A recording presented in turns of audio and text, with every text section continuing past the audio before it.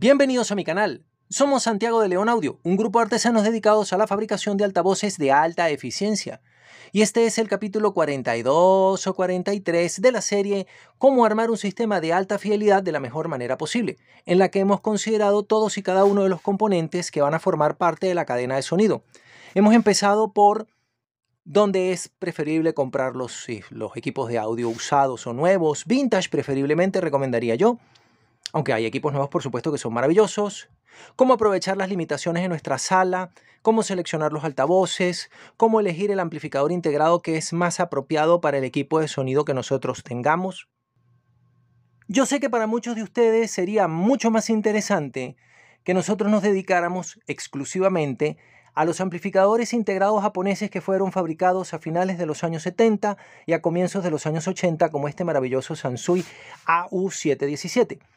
Pero esa no ha sido la temática de mi canal porque, como ustedes se habrán podido dar cuenta, todos los canales de difusión de audio de alta fidelidad hablan de los amplificadores y de las etapas de potencia, de los preamplificadores, a veces de los platos y muy poco de las cápsulas. Yo he decidido, para corregir esa tendencia que no es mala, pero a mí no me parece la mejor, hablar de todos los equipos, dedicarle por lo menos un capítulo a cada uno de los sistemas o a cada uno de los componentes de una cadena de audio para que tengamos variedad y conozcamos de la configuración, porque finalmente el sistema de audio hi-fi no es solamente el amplificador, el amplificador es solamente una pieza, una de las muchísimas piezas que tenemos que agregar para tener una cadena de audio completa. Hoy toca, como dice el título de este video, hablar de los receptores de radio AM-FM. En principio porque son un componente más de la cadena que necesitamos para acompañar nuestro amplificador, a menos que hayamos comprado un receiver estelofónico, que también es una opción interesante. Y bien, porque es un componente más de colección y si en nuestra ciudad hay buenas estaciones de radio, siempre va a ser interesante tener un receptor. Hoy vamos a ver cuáles son las características que hacen interesante a un receptor, que hace bueno a un receptor de radio y por qué deberíamos considerar incorporarlo en nuestra cadena. Hoy, lamentablemente, es un día triste para la radiodifusión venezolana, porque justamente hoy ha cesado de transmitir la estación de radio Radio Caracas Radio 750 kHz AM, YVLL, cubriendo la zona metropolitana de Caracas. Esto es una tristeza, ha sido cerrada por razones políticas que no voy a mencionar en este canal, pero que justamente ha sido consecuencia del egoísmo y de la mala fe de un montón de gente que nunca debió llegar al poder, pero que, bueno, está allí y no hay forma ni manera de salir de ellos. Nosotros retornamos a la radio. Un receptor de radio puede ser de gama básica, de gama baja, como el que incluye ese sintonizador AM-FM dentro de un Walkman Agua, por cierto, muy bueno porque además es autorreverse y tiene Dolby B y tal cosa. Los receptores de radio los vamos a reconocer o los vamos a relacionar más con los transoceánicos como hablamos en el capítulo anterior. Pero un receptor de radio también puede ser una pieza de alta gama, como es este maravilloso receiver estereofónico y cuadrafónico cuadrafónico, porque hay gente que dice que es de cuatro canales. Yo no sé de dónde sacan esas excusas tan extrañas, porque así no figura en los catálogos de los fabricantes. Eso es un equipo cuadrafónico para uno perder cuadrafónico como el Sony que mostré hace un tiempo. En este caso estamos hablando del modelo 4300 al que ya le tengo todos los componentes y pronto empezaré a hacer su restauración para que puedan admirar cómo es esta pieza por dentro. Porque si por fuera se ve bonito, por dentro tiene una construcción simplemente fantástica. De hecho es un equipo carísimo, es un equipo de alta gama que aún hoy tiene un sonido muy competitivo respecto de diseños más recientes como los desarrollados de muy baja distorsión entre 1980 y 1990. Nunca confundan un receiver estereofónico de alta fidelidad con un receiver multicanal. Eso lo he ese tema lo he tocado en otros videos de este canal y me parece francamente decepcionante. El receptor de radio más sencillo que tengo de entre este set que he elegido para mostrarles es este Pioneer TX 7500 si a la cámara le diera la gana de enfocar. Ahí estamos. Él tiene un diseño muy parecido a los TX 508, 608, 606, 7300, etc. Es un sintonizador muy bueno. ¿Y cuáles son sus características? En general, todos los receptores de radio para una cadena de alta fidelidad comparten que Necesitan una buena antena, un dipolo abierto de 75 ohmios, bien ubicado, con un cable de bajada de baja pérdida, preferiblemente cable coaxial, para recibir la señal de FM que se desarrolla entre los 88 y los 108 MHz, donde se transmite con sonido estereofónico. Mientras que necesitaremos una antena, en los manuales japoneses lo llamaron de tendedero de ropa. Básicamente es un alambre descubierto, un alambre desnudo de 75, mm, 150 metros de longitud para reforzar la sensibilidad de la sección de AM, aunque estos receptores de radio ya traen una antena AM incorporada.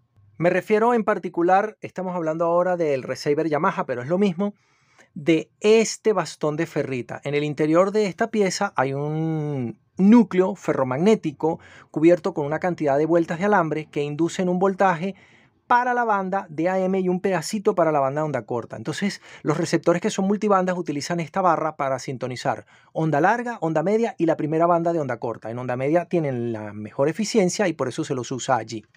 Aquel receptor que tenemos allá, aquel receptor Sony, tiene la antena en su interior, pero sigue teniendo una antena de bastón de ferrite exactamente igual. Incluso este pequeño Walkman Aiwa tiene una antena pequeñita que es un bastón de ferrite. De todas maneras, siempre podemos conectar una toma de tierra, teléfono no me vaciles, aquí estamos, una toma de tierra una toma de tierra, esta, aquí está la toma de tierra para poder aprovechar una antena externa y aquí podemos conectar una antena que es de tendedero de ropa que son 75 a 150 metros de alambre desnudo. Eso mejora la recepción. Siempre que no tengan ustedes un montón de computadoras e interferencia electromagnética y routers y wifi este montón de cosas porque van a contaminar el campo electromagnético alrededor de su receptor de radio dificultando la recepción.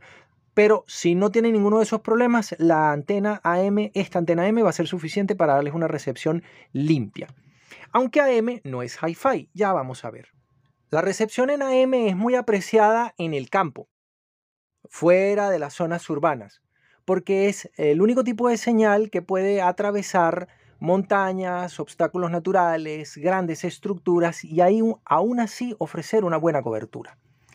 Aquí podemos ver el dial de AM que empieza en este radio en los 520, 500 kHz aquí atrás y termina en los 1700 kHz aquí adelante. Todas las estaciones de radio suelen estar de entre los 500 y los 1600, 1590 kHz. Eso es lo más común. Aquí tenemos un medidor de la intensidad de la señal que nos va a orientar acerca de cómo y dónde debemos colocar la antena para obtener la mayor cantidad de señal posible. Este receptor de radio, por ejemplo, tiene una sección de AM muy sencilla, básicamente igual a la sección de AM que tiene este otro receptor. El bastón de ferrita sintoniza la señal una vez, esa señal sintonizada se mezcla con el oscilador local, lo vamos a ver en un momento. Luego es filtrada dos veces, a veces con un cristal de cuarzo y a veces sin él, y luego simplemente es demodulada. El proceso de la recepción de AM es extremadamente sencillo y suficientemente bueno como para oír un programa de noticias cuando las estaciones de noticias pueden transmitir. Cuando no, pues la cosa se complica. Donde realmente son interesantes estos receptores es en la sección FM. Ahora les voy a mostrar un, este receptor por dentro para que puedan apreciar que su construcción es muy bonita, es un equipo de muy alta calidad. El primer receptor que vamos a ver por dentro, para que se den cuenta que son máquinas muy sencillas, es el Yamaha CT610. En Audiokarma se burlan muchísimo de este equipo porque básicamente es una caja vacía. Pero ya podemos notar algunas cosas. Lo he tomado de primero porque es el más sencillo.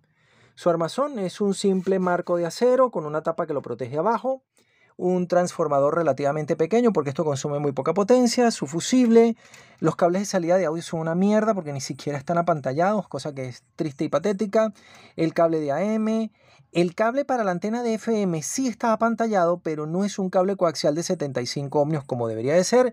Y la toma de tierra, pues bueno, es lo que ustedes pueden ver aquí. Realmente es una construcción bien triste, pero lo vamos a ver por encimita porque es muy fácil de analizar. Aunque la caja es considerablemente más grande, nos vamos a centrar solamente en la tarjeta principal donde están todas las secciones de este receptor de radio. Veamos. Acá tenemos el puente rectificador, y la fuente de alimentación formada por estos filtros que están acá y este transistor Q1 que es el estabilizador de más 12 y por allí está escondido el de menos 12 voltios porque esto tiene una fuente de alimentación simétrica. Si el cable le diera la gana de quitarse sería como más fácil ver. Bien. La primera sección que tenemos es la de AM. La sección de AM, aquí recibimos la señal de la antena de AM. Lo primero que tenemos de AM es un bloque de sintonía que está hecho con este capacitor variable que está acá. Déjenme mostrarles cómo funciona esto. Ese capacitor variará su capacitancia en función de la posición en donde coloquemos la aguja. Aquí tendremos máxima capacitancia y por lo tanto sintonizaremos la frecuencia más baja. A medida que vaya reduciéndose la capacitancia, se moverá la aguja y tendremos una frecuencia más alta. Un bloque es para sintonizar la señal con la inductancia de la antena y el otro bloque es el del oscilador local, que es esta bobina y este transistor que está acá. Una cosa extremadamente sencilla. La señal que salga de aquí va a pasar por este bloque de frecuencia intermedia que está sintonizado a una frecuencia que es la resta del oscilador local menos la señal de entrada. No vamos a ahondar ahorita en cómo funciona este asunto, pero lo interesante es que la señal va a ser amplificada por estos dos transistores y detectada por estos dos dioditos de germanio que están aquí. Aquí vamos a practicar una pequeña modificación de circuito para que la calidad de sonido sea ligeramente mejor. La sección de FM, eso es todo la AM, ya. La sección de FM es un poquito más completa que la que vimos en, el análisis que habíamos hecho de los receptores, de los receivers estereofónicos Sony STRB3 y Yamaha CR420 que espero puedan recordar. Veamos. Aquí la cosa es así. El front end no lo vamos a ver porque está metido dentro de este blindaje, pero es lo mismo que hemos visto antes. Hay una bobina junto con este capacitor variable que es el oscilador local, este capacitor variable y una bobina que está aquí que es ajustable sintonizan la señal de entrada de la antena. Esa señal es amplificada por un transistor especial de compuerta aislada de bajo ruido y se vuelve a amplificar y a sintonizar con este otro bloque que le acompaña a este capacitor variable que está aquí, le acompaña una bobina. Capacitor para FM 1, 2 y 3. La señal que sale de allí es la señal de frecuencia intermedia y esa señal de frecuencia intermedia es sintonizada por este. Vamos a aplicar un poquito de zoom para que lo vean porque esa pieza es interesante e importante. Un momento, mientras yo juego con el zoom del teléfono. Ahí estamos.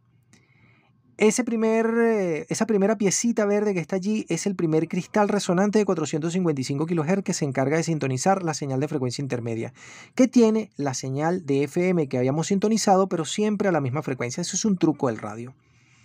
Como podemos darnos cuenta, no han utilizado uno, sino que han utilizado dos cristales en cascada y han utilizado este chip que nosotros habíamos descrito antes, el MicroPC 577. Ese circuito integrado ahorra muchísimo porque él es un bloque de frecuencia intermedia con limitación automática del nivel de señal. Pero miren lo que ha hecho Yamaha para mejorar la recepción. No ha usado uno como en los receivers estereofónicos que les mostré antes, sino que ha usado dos. Si la señal producida por este niño se pasa de la raya, este otro, que también es un 577, la limita.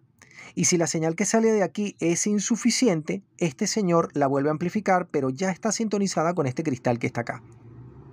Sintonizar la señal 2, en este caso 3 veces, y con la bobina de frecuencia intermedia que está aquí adentro 4 veces, y aplicar estos dos chips 577 hace que este receptor de radio, aunque en su primer aspecto sea bastante deprimente, en realidad lo convierte en un receptor muy sensible, es decir, que puede recibir señales muy lejanas o muy pequeñas, y muy selectivo, con lo cual puede recibir dos señales de estaciones que están adyacentes en frecuencia una a la otra sin que la señal más fuerte cercana interfiera a la señal más débil, más lejana, si es esa la que nosotros quisiéramos sintonizar. Aquí vemos otra cosa interesantísima y es el demodulador Foster-Sely. Este demodulador Foster-Seeley está formado por tres bobinas sintonizadas, es un poco complicado explicarles más o menos cómo funciona y aquí vemos el detector con dos diodos balanceados que yo iba a sustituir porque normalmente no viene así, pero creo que el fabricante ya lo ha hecho por mí. Ha colocado en serie una resistencia de bajo valor con un diodo de germanio para detectar la señal. Ese truco permite balancear el detector. De hecho, la reparación que yo iba a hacer en este equipo era cambiar eso y sucede que ya viene así de fábrica. Me explico.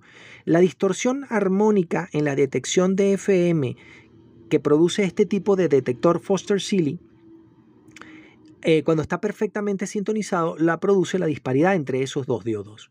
Pero cuando los diodos quedan igualados, y en este caso se le agregan resistencias para igualarlos, la distorsión es bastante más pequeña y la calidad del sonido, por supuesto, es mejor. Pero me parece muy curioso que, porque yo he revisado y he tenido varias veces este receptor 610 y nunca viene modificado así. No lo ha modificado el, propietario que lo tenía antes. Esto viene así de fábrica. Es muy curioso que lo haya modificado de fábrica para conseguir menor distorsión armónica en la detección. Está genial. Bien, la señal que sale de aquí va a... Este es, el bloque, este es el bloque de control lógico, esto no tiene nada que ver con nosotros, esto es lo que hace el muting y ya les voy a contar qué hace. La señal que sale de aquí es amplificada, creo que por estos dos transistores que están acá, o por estos dos transistores, o por, vaya usted a saber, aquí tiene que haber dos transistores, podrían ser estos que están acá, que amplifican un poquito esta señal, porque lo que sale del receptor, del detector, es muy pequeñito. Entonces esa señal es amplificada para poder entrar en este chip, el Sanyo 3350. Este chip es genial, todavía hoy se consigue y se vende, a veces se daña y entonces hay que sustituirlo. Eh, y él es el detector, el descodificador de FM estéreo. Tiene un oscilador que se ajusta con este pot que está aquí. Y tiene otro pot que no veo, ah, debe ser este, que ajusta la separación entre canales. La señal que está lista es amplificada por estos dos transistores que están acá, que cambiaremos por piezas de bajo ruido, y luego pasan por el filtro pasabajo que está aquí.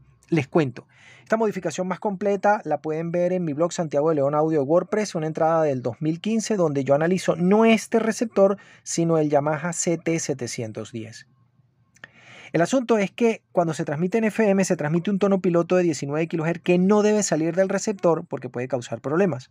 Entonces aquí hay un filtro que lo bloquea. Este bloque que está aquí es el filtro pasa abajo. Lo que tiene este receptor de radio de especial que lo hace un poquito mejor y diferente es que él puede hacer la recepción de la señal normal, hacer la recepción en un modo especial de mayor sensibilidad para señales más lejanas y más complicadas y adicionalmente tiene un oscilador que está montado aquí que permite generar un tono piloto de 1 kHz o de 400 Hz, no recuerdo bien, que permite calibrar el nivel de grabación de un deck de cassette para que nos queden perfectamente bien hechas las copias de aquel programa que estuviéramos recibiendo de la radio FM. En AM hay que reajustarlo porque la señal suele ser más pequeña. Aquí tenemos la vista de por detrás del meter indicador de sintonía y aquí debe estar el meter indicador de, de, de intensidad de señal y tal cosa. Aquí está el mando del tándem. Es un receptor de radio muy sencillito. Ahora vamos a ver uno más complicado. Habrá un video específico dedicado a la restauración de este bello equipo como parte de la restauración del amplificador integrado SA7500 que ya tiene cuatro capítulos. Pero por lo pronto se los voy a mostrar por dentro para que ustedes entiendan por qué Yamaha es una marca muy buena, pero Pioneer es superior. Este es un equipo del mismo precio, del mismo año, de las mismas características e incluso más sencillo, pero pueden ustedes darse cuenta de que la fabricación es soberbia. Primero tiene un medio chasis, su transformador, su fuente de alimentación estabilizada muy bellamente implementada con una fusilera, el tándem montado en chasis, aquí está el front-end blindado. Este tándem es más completo porque aquel era de tres secciones para FM y este es de cuatro secciones, con lo cual este receptor es más selectivo que aquel. Acá podemos ver el arreglo que ha hecho Pioneer para que se retroilumine toda la pantalla. Aquí están las lámparas, miren, aquí están las lámparas que se encargan de iluminar el frontal para que quede todo el dial iluminado, bellamente hecho. Y aquí tenemos la sección de radio propiamente dicha, que yo ya había modificado ligeramente en su oportunidad. Todos estos condensadores anaranjados son nuevos. Tiene un relevador que hace de muting, esto es un interruptor de muting pero la sección de audio es genial. La sección de audio está formada por estos cuatro transistores y este filtro pasabajo especial sellado dentro de una cápsula de altísima calidad. No nos vamos a meter más en detalles con este receptor porque habrá unos videos dedicados a describirlo y a mostrar su restauración, pero quería que lo vieran en esta serie para que apreciaran lo bellamente implementado que está que por supuesto la sección de FM también tiene tres bloques, pero aquí no utilizaron el chip 577, sino que utilizaron este otro chip, que es Hitachi, aunque tiene el emblema de Pioneer, que es bueno, pero no es tan bueno. En realidad la sección de FM del Yamaha sí es superior a este equipo, por lo menos en ese detalle. Ya yo lo había restaurado, pero sucede que no suena. Tiene un problema relacionado con uno de los transistores que está agotado, que no son los condensadores que yo cambié. Se pueden dar cuenta que yo ya había cambiado algunos cuantos condensadores y había agregado un cristal resonante de 455 kHz a la sección de AM, pero ahora hay que volverlo a tocar porque ahora sí está malo. Cuando yo lo arreglé estaba perfecto y ahora sí tiene un pequeño detalle en los transistores de salida a la sección de audio que están agotados y no funcionan. Un comentario que recibí en un video anterior hablaba de que yo debería aprender o yo debería saber ensamblador. No lo entendí muy bien, pero en cualquier caso, este canal de video de YouTube se iba a dedicar a la programación justamente de programas en lenguaje de ensamblador para el microprocesador 8086, 186, 286 y 386 en modo real porque yo di clase de eso y he estado preparando un libro que en realidad lo tengo abandonado y no lo he terminado. Se me ha complicado enormemente hacerle todos los algoritmos y todos los programas y correrlos y cualquier cantidad de cosas. Por eso es que a un lado de mi sala de audio deben haber visto que siempre aparece eh, medio escondida una vieja computadora 8486 DX2 que se iba a utilizar para tal propósito, pero al final no me dediqué a eso porque me pareció que el audio en medio de todo era más rentable, porque aquel iba a ser un canal con 250 suscriptores y con videos de 125 y 50 visita Entonces decidí que era demasiado trabajo para lo que se iba a conseguir. En su lugar preferí dedicarme a otro de los hobbies que en realidad se ha convertido en una actividad económica, que es esto del audio. Si el receptor de radio Yamaha CT610 que vimos hace un momento les pareció una completa desilusión, debo de comentarles que el receptor de radio de más alta gama que tengo en esta colección es este, el Yamaha 7800 que lo voy a mostrar al final y les va a sorprender cómo está hecho y las funciones que tiene. Desde Santiago de León de Caracas, saludos y suerte.